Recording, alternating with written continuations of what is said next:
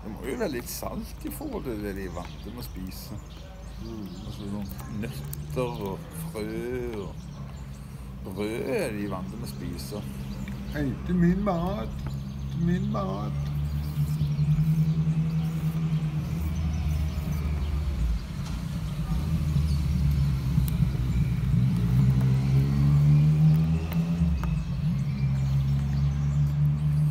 como abriu, oh, que, que fala.